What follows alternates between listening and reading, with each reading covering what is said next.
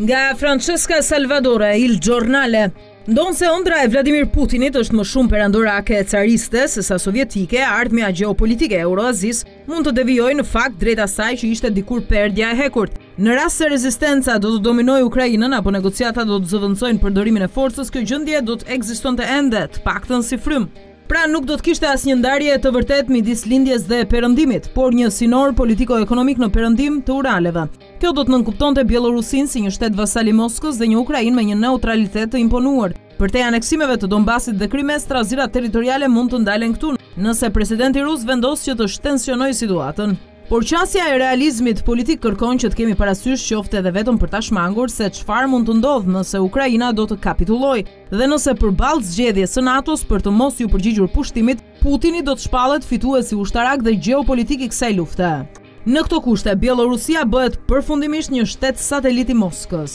Ukraina do të kishte fatin më mizor, e ndarë mes Lindjes dhe Perëndimit ashtu si Gjermania pas Luftës së Dytë Botërore. Pothuajse i lënë në harresë në ngjarjet e pas Luftës së Ftohtë, ish-Kaukazi Sovjetik është një nga zonat më të trazuara në planet. Jo vetëm për shkak të trafikut dhe turbullirave që përshkojnë republikat e vogla, por për shkak të entiteteve të tyre juridikisht komplekse që kufizohen në territore joshtetërore.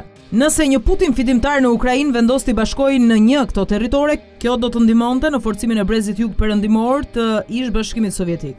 Por nga ana tjetër, kjo do të nënkuptonte një qasje të rrezikshme territoriale ndaj Iranit. Një kërcënim direkt për Gjeorgjinë, pasi për Rusinë ajo është fajtore për afrimin me Perëndimin dhe sepse nuk i ka harruar kurrë plagët e shkaktuara nga rusët në vitet nëntëdhjetë dhe dy mijë e tetë. Ndërkohë edhe Armenia është në një situatë të vështirë, aleate me Moskën, por me marrëdhënie të mira me Kievin. Ndër të tjera në Ukrainë jeton një komunitet i rëndësishëm armen. Shumë armenë i simpatizojnë ukrainasit e sulmuar, por janë të lidhur ngushtë me Rusinë dhe të indinjuar me qëndrimin e gjatë pro-azer të Ukrainës mbi Karabakun. Pra nëse Gjeorgjia rrezikon sulmin ushtarak të Rusisë, Armenia jo dhe aq. Kjo pasi Jerevani ka mbajtur një profil të ulët përkundrejt luftës në Ukrainë, duke ofruar mbështetje diplomatike për aleatin e saj Rusinë.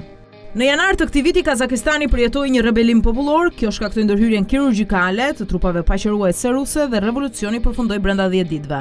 Janari i përgjakshëm kazak mund të shihet si një paralajmërim për këdo në universitetin neo-carist që guxon të ngrejë kokën ndaj Moskës. Për momentin më i rrezikuar duket se është Uzbekistani, që ka mbajtur një qëndrim ndryshe nga të tjerët që kanë hezituar të kenë qëndrime të qarta për luftën e Rusisë. Ministri i Jashtëm uzbek, Komilov, u kërkoi të dyja palëve në konflikt të arrijnë një zgjidhje diplomatike. Prandaj hakmarrja ekonomike ose ushtarake e Rusisë mund të jetë e afërt.